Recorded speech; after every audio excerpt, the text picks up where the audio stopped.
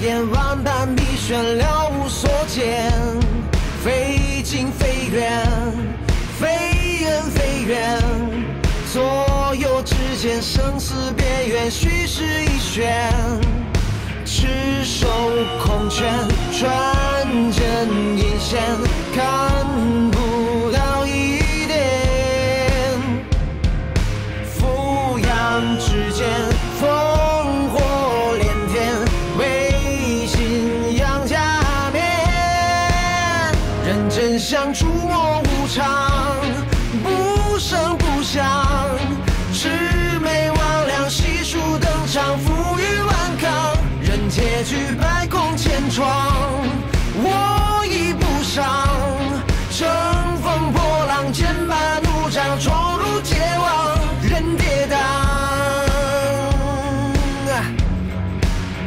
是无双。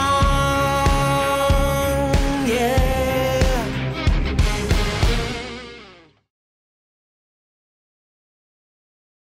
沈副处长，你这可不像是中央军校出来的，你查过我？你怕我查你吗？哼，档案上都记载，你是中央军校十四期第六总队的士官生，三七年在成都入校，三九年一月毕业，没错吧？有问题吗？有啊，这中央军校人十四期的，就没有不能喝这个的。军校有规定，一次喝不了三碗就不算毕业，也就成为不了自己人。看来吴队长跟我很生分。怎么？难不成我不是一处的人？这不敢，你是贵族血统，我们一处都是一帮大老粗，怕你看不上。吴队长这话什么意思啊？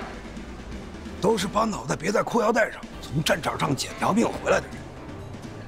兄弟们在战场上死了的，一人二十大洋就打发了，能活着回来的，也就给俩铜奖章。我明白了，吴队长怕我不是自己人。是不是自己人走着瞧？但是，如果不是自己人，这一处谁也待不下去。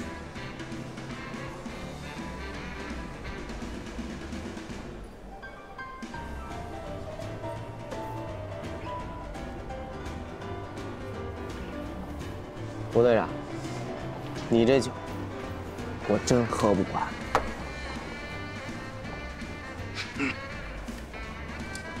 嗯，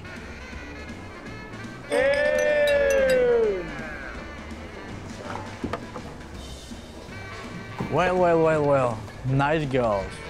I wanna dance with you. I give you money. Wow, nice ass. Hey, What? go away, please. We have No. dances. Why? 哎，干嘛？你干嘛呢？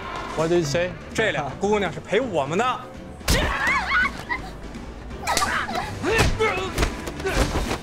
头子里被打了，还是美国人，这怎么办？什么怎么办？自己人挨打就看着。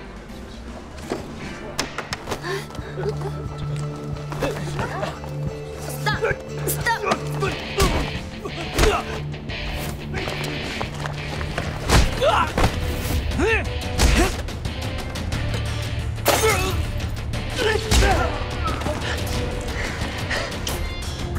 队长，看我干什么？上啊！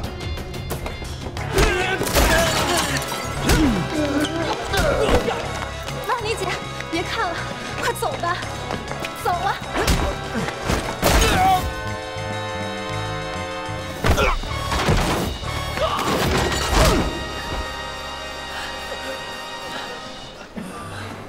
行啊，兄弟，拳头够硬的啊！美国兵都敢打。兄弟不是看出来的，是打出来的。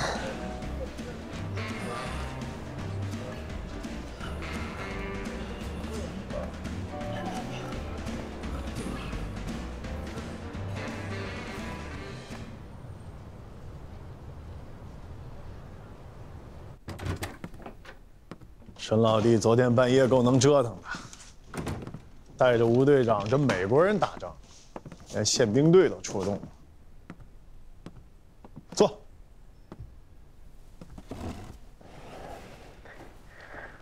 这可不能怪我，美国人先动的手。吴队长跟我说了，不过还是抱歉，罗兄，给处理惹麻烦了。行了，你也是为自己兄弟出头嘛。再说美国人平时也跋扈惯了，打两下让他们长长记性也好。宪兵队都是自己人，美国人那儿我也打点了，花点钱的事儿。多谢罗兄，你这可是在一处露了一手啊！现在处里的兄弟们对你可是刮目相看呐。那还不是因为有罗兄坐镇，要不然我现在已经在宪兵队里了。让谁出事儿也不能让你出事儿啊！最近赌场和歌厅没少去吧？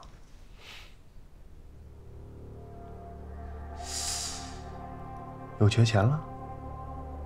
火气这么大？最近确实手气不太顺，输赢都是常有的事儿嘛。再给你拿一千，这拿着吧。搞出那么大的事儿，这夜总会该赔还是要赔的，不然以后去了，脸上也不好看。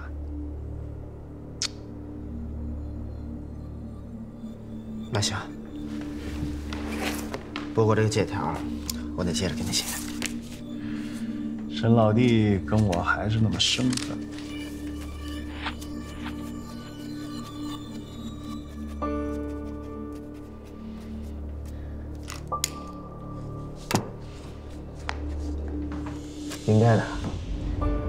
我手机顺了，马上还给你。哎呀，自家兄弟老说这样的话。不过沈老弟，我得提醒你，为点小事跟美国人打架，犯不上。罗兄说的是，没什么事儿，我先出去了。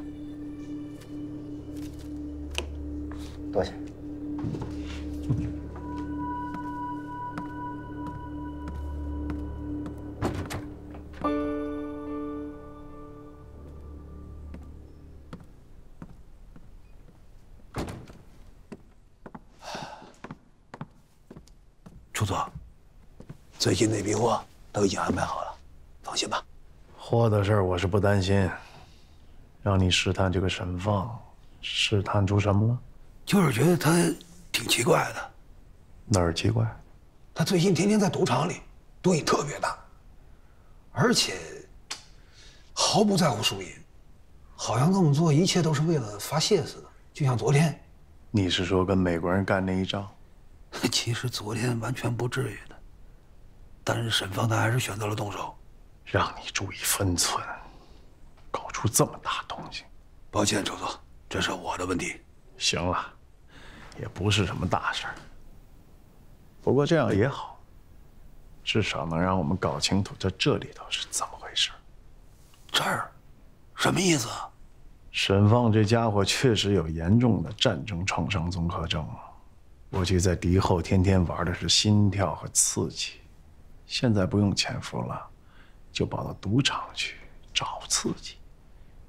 赌博、酒精，甚至是找美国人打架，这都是为了要引起他的兴奋。哦，怪不得这家伙平时有点闷闷的、怪怪的。不过这小子能为兄弟们出手，也算是个爷们儿啊。这么快就又看清了？没有没有，我看不看清楚不重要，周总，都听您的就行。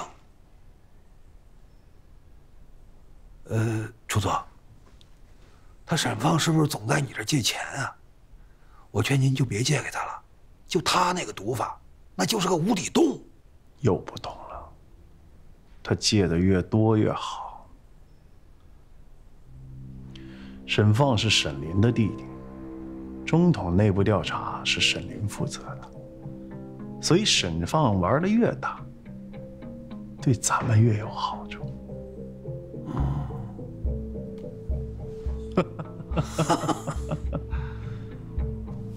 高，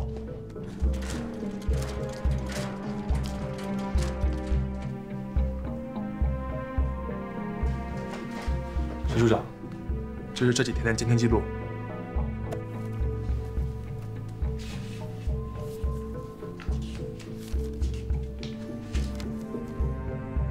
沈放出门了。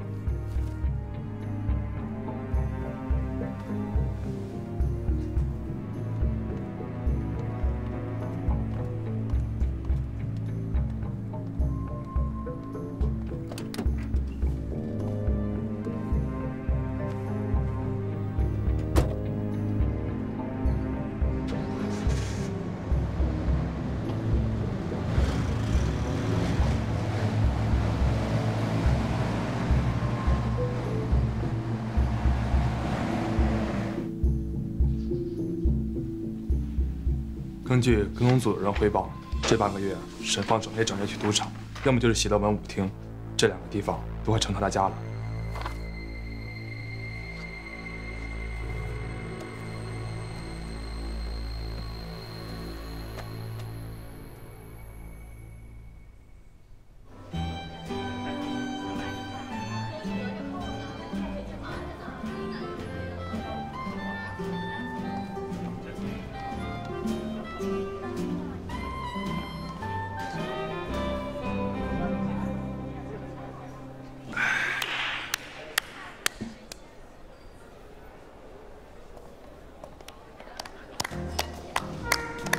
弟，你这舞跳的可是真好。多谢夸奖，来干一杯。来，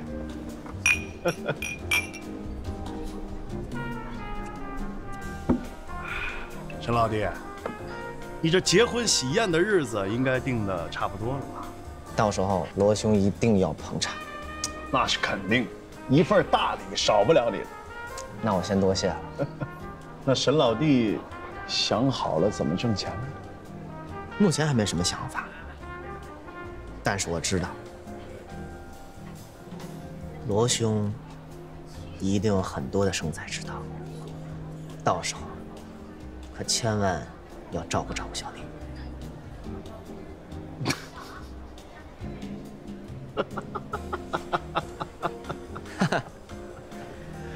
罗兄啊，总是在这种时候笑而不语，我觉得有点不够意思。嗯，陈老弟，你缺钱只管跟我说，有我在，亏不了你。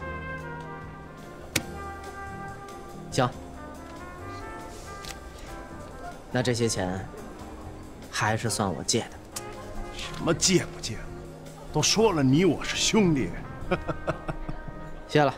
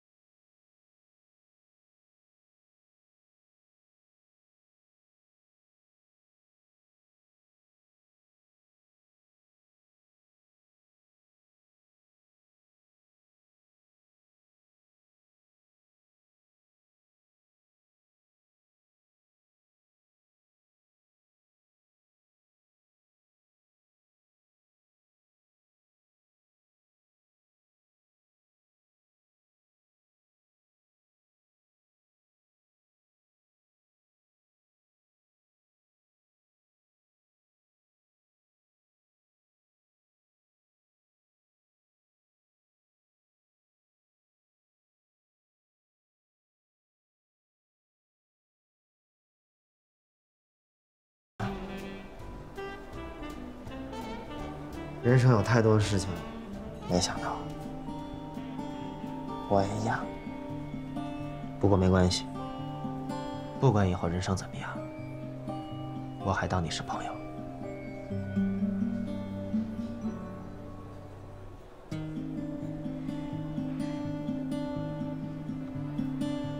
只要你这样想，我也是你朋友。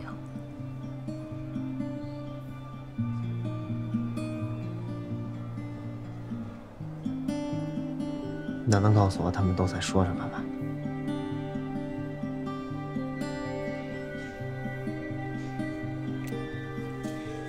他们就说浦口码头什么的，那个姓罗的就不让说下去了，还打发我过来给他们换种酒。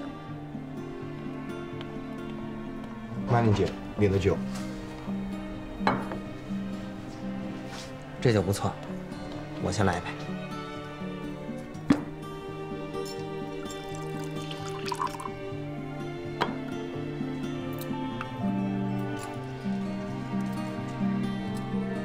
多谢。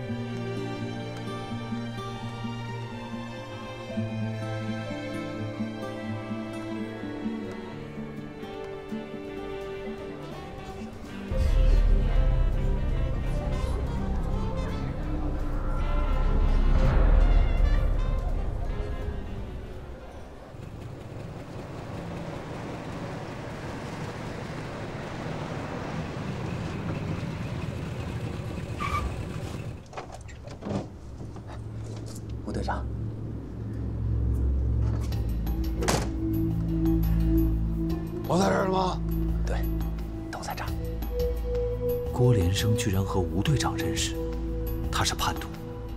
可为什么所有行动都由中统在主导？那军统跟郭连生接触，是在做什么？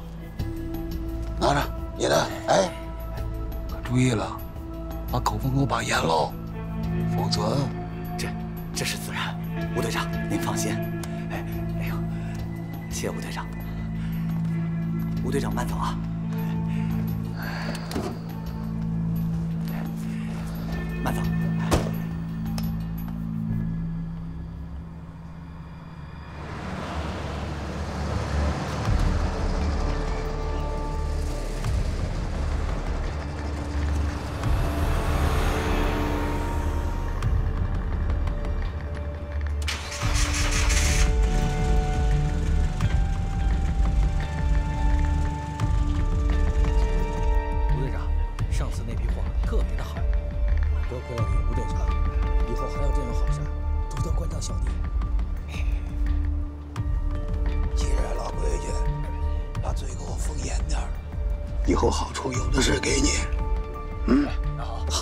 放心好了，吴队长，我嘴啊，肯定封得严严的。让他们快点儿。来，快点弄！哎，快点儿！快点啊！吴队长，这批货肯定比这个好。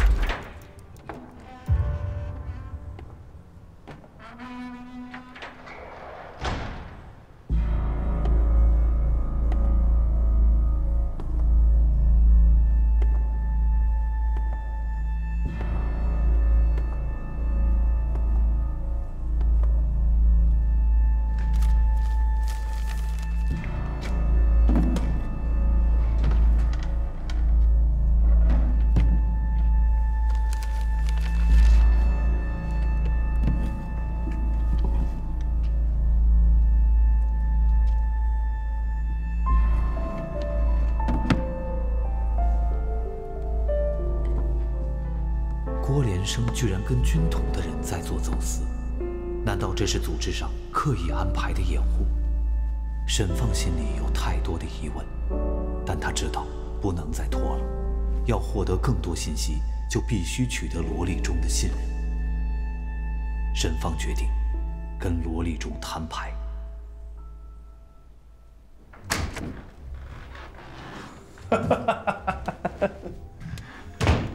沈老弟约我喝酒，怎么跑包厢里来了？那外面那么热闹，不找姑娘跳舞？这不是想和龙兄端谈吗？有什么话不能在局里说吗？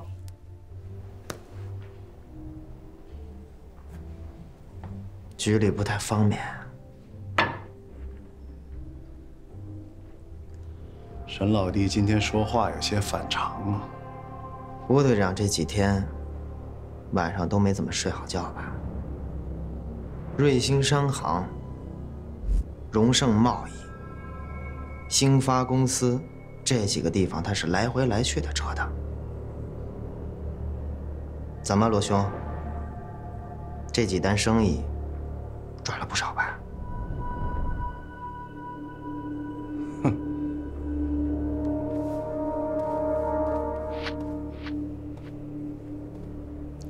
沈老弟的心机够深的呀，扮猪吃老虎，难不成是要为难我？这些事儿要是捅出去，小则官位不保，往大了说，判上几年都算是轻的。如果这件事情闹大了，恐怕谁都兜不住。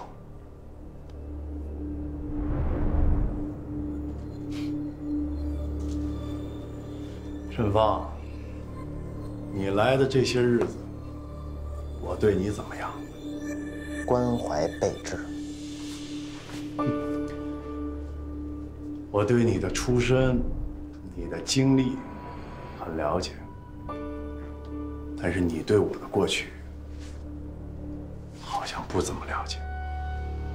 其实我很羡慕你这种官宦人家出生的孩子。不用怎么努力就可以得到该有的一切，可我们不行。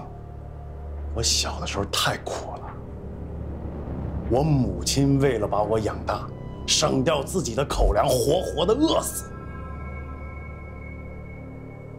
我是这么活过来的。受苦的事儿谁都经历过。你以为前几年我在日本人手底下？都是玩吗？你是英雄，我扛的枪也不是摆设，我也上过前线，去过战场，打过仗。我这里有弹片没有取出来，受的伤不比一轻。可用的怎么样？没有关系，没有后台，我熬了十年才是个处长。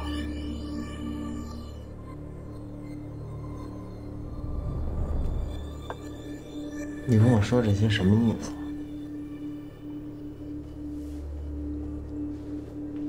像我这种一步步熬出头来的人，有个毛病：我好不容易得到的东西，不能轻易的失去。不管谁在挡我的路，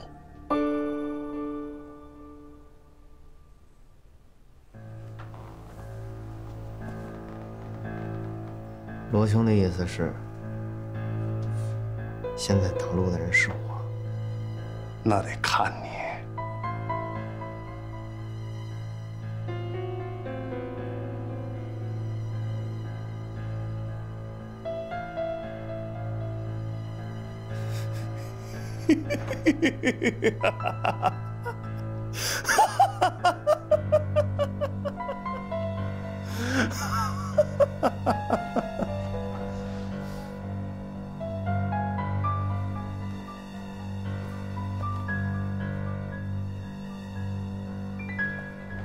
兄，怎么就不认为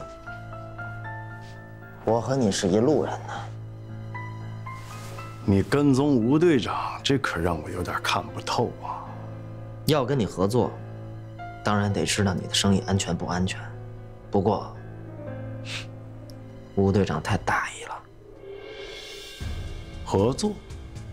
当然，虽然我们的出身不同，但都有一个共同点，就是都知道钱的好。我可和我那个总是板着脸的大哥沈林不一样。你真要合作？如果我不想跟你合作，就不会费这么多话了。我大可以直接去国防部军法处啊，罗兄。我想也是啊。不过罗兄做生意一直躲着我，真的不太合适。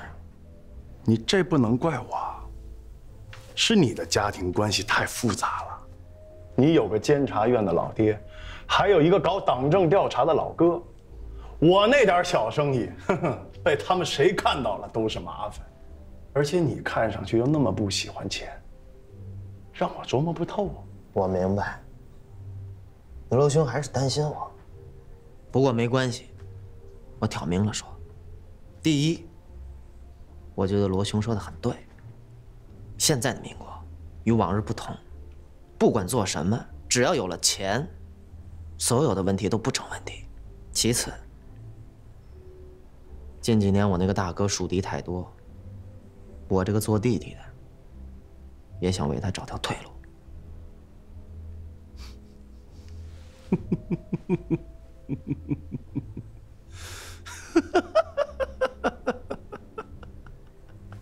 不过话说回来了，你们的做法疏漏太多，真把宪兵司令部、警察厅、军纪调查处当成吃干饭的了。更何况，后面还有中统的人。你有什么好办法？罗兄，还记得老虎桥监狱吗？记得。审查期间，我就被关在那儿。为什么不能利用老虎桥监狱呢？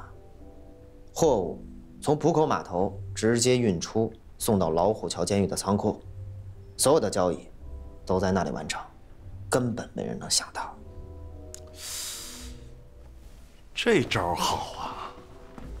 我怎么就没想到？老虎桥监狱里面的人，全都是日伪时期的老人。这里面的关节，我沈放能想办法。什么条件？不能总跟你借钱，所以我要当股东。要多少？别人要多少我不管，我这边一成，不过分吧？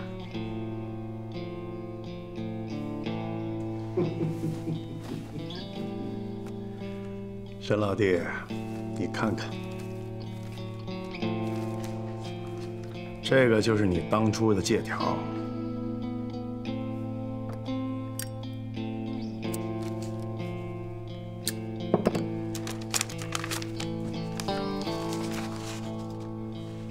我就把它当做你入股的见面礼吧。来，我现在就跟你谈笔生意。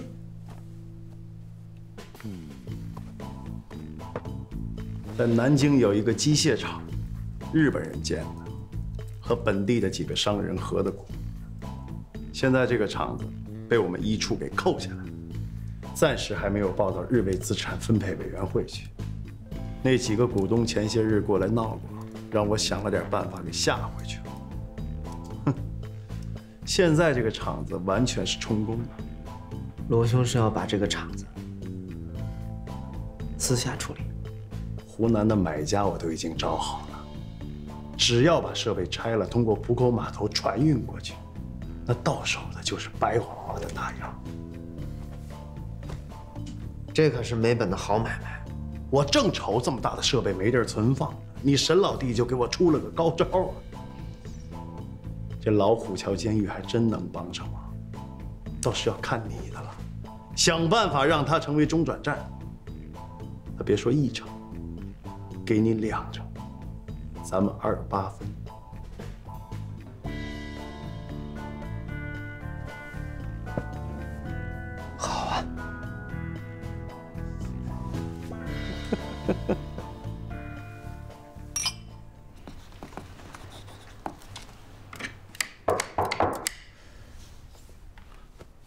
是？我是沈放，机械厂设备的船运由我来跟你对接。是，罗处长跟我说过。那咱们现在就赶紧商量一下具体的用货方式吧。由于设备体积非常大，但是我相信你应该有办法在船运的时候不让别人起疑心。是，这事呢交给我来办。您请坐。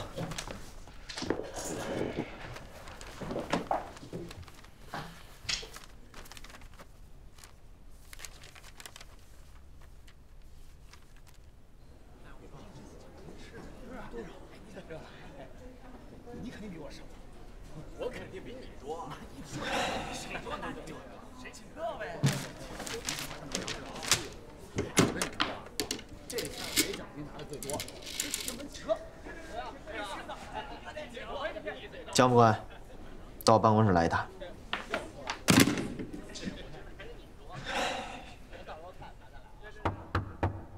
进。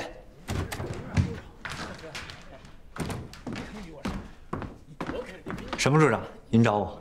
他们外边吵什么呢？大伙在外面闹着玩，在猜年底奖金谁拿的更多，谁拿的多就让谁在喜乐门请客喝酒，我这就让他们小点声去。行了，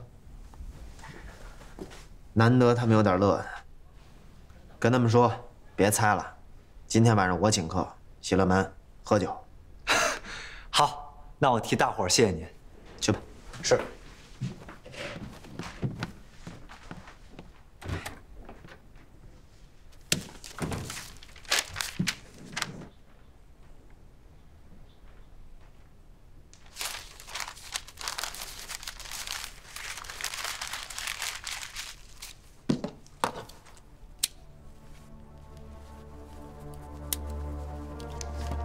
这是汪洪涛留下的密码方式，在规定版本的《红楼梦》里找出需要的字，将页码和对应的行列数字写在纸上，这样对方可以通过这些数字翻译出情报内容，外人无从知晓。周主任，有您的信。嗯。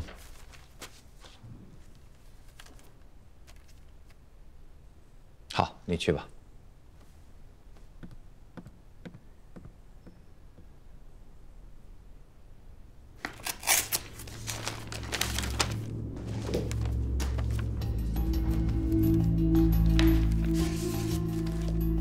这是沈放做的情报，分成了三份，内容是有特殊情况，组织的人需要他们帮忙预订酒店房间，开展活动。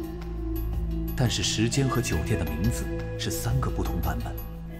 周达元对应的是盛源宾馆，郭连生对应的是宏达旅社，钱必良对应的是吉祥旅馆。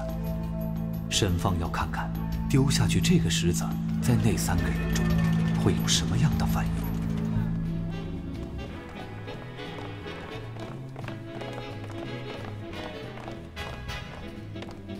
沈副处长，今天兄弟们一定要多喝点，要开心。所有的账全都记在我头上。曼丽，给我这几个好兄弟好好安排一下，让他们好好放松放松。放心吧，早就安排好了。军官们，吃好玩好，千万别客气。谢谢处长。娜娜，嗯，叫姑娘们。没问题。来，兄弟们，咱们坐这边吧。走。小夏，你跟军统局南京站行动队的人熟吗？南京站行动队还真有一个，他是我同乡，同期入伍，也是同年进军统的。那好，你让你这个好兄弟明天多多关注一下白下区的酒店和旅社，特别是宏达、盛源、吉祥这几家，也许能有收获。这感情好，我这个兄弟正想着怎么能多立点功，从南京站调回到局里。沈副处长，您这是哪儿来的消息？我哥是中统的，你知道吧？嗯。明天如果中统有行动，跟着他，绝对没错。好，听您的。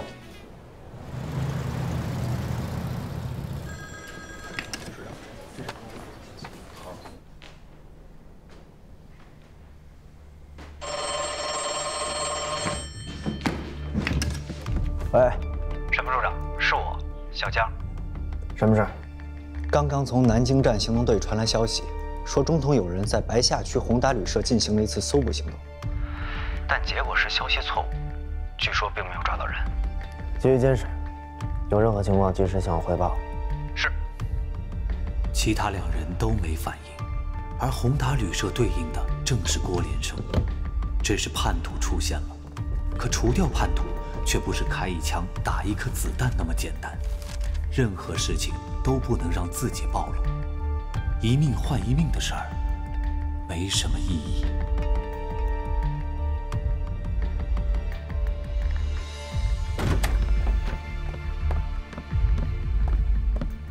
罗处长，你阴我啊！沈老弟，什么意思？之前你的生意一直躲着我，现在倒让我入股了，可是中统的人闻着味儿就来了。怎么，怕生意露馅，拿我当替罪羊是吗？老弟，这话说过了吧？什么中统的人？你到底想说什么？你不知道吗？你想让我知道什么？好，那我问你，浦口码头的郭连生的底细你知道多少？他为什么愿意跟你做生意？他这个人好赌，在赌场输了不少钱，还欠了高利贷。要不是我，早就让人扔江里喂鱼了。怎么了？怎么？就是这个郭连生一直在跟中统的人联系。你听谁说的？沈林是干什么的？他们中统党政调查处一直在做党内调查，我不盯着他，心里也不踏实。就是中统的人，一直在暗中接触郭连生。这事儿多久了？我不知道，有可能几天，也有可能是几个星期。我说你怎么那么好心，答应让我入股？原来这里边全是猫腻。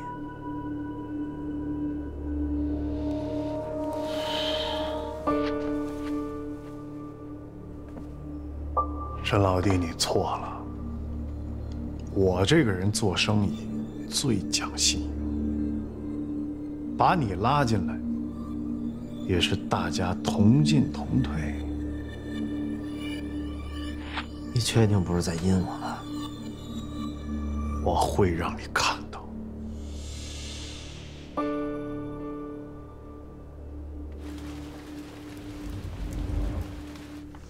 消息可靠吗？很可靠。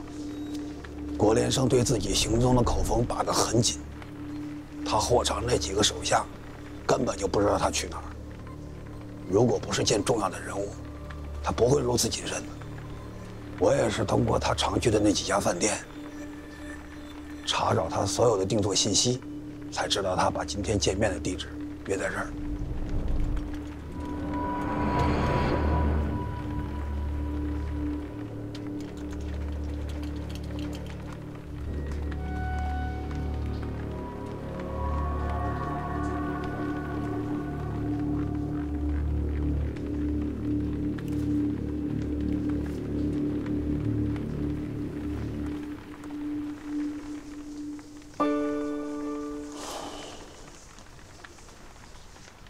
老毛病又犯了，哎，喝酒解决不了问题，上医院去瞅瞅。没事儿，上医院没用，这个比什么都灵。队长，李向辉进了郭连生的母间。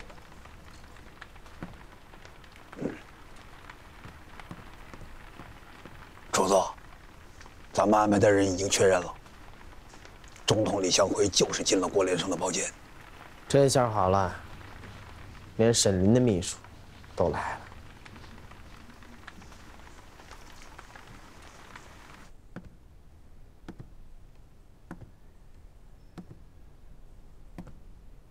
沈老弟，你觉得中统那边对咱们的生意了解有多少？你真的什么都不知道吗？该跟你说的我都说了。你得相信我。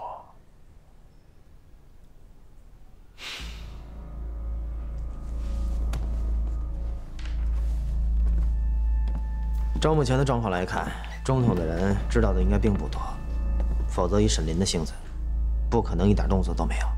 对，中统那边正在严查党内贪腐。沈林现在还不知道，但如果他知道，调查起来，你我都很难脱身呢。进来。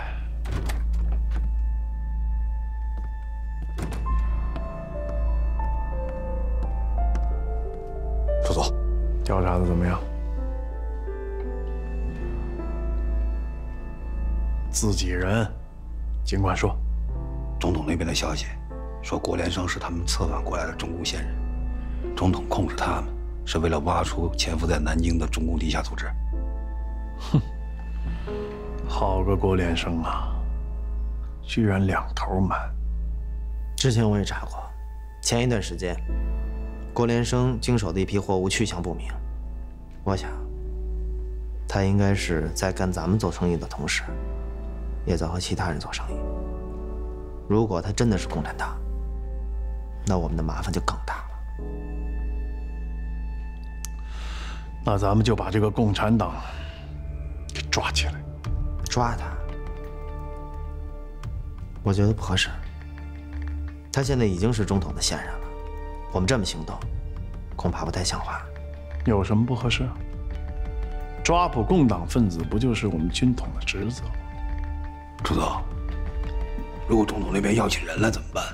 顾不了那么多了。只要人在我们手里，而不在中统，他该怎么说，那就是我们说的算。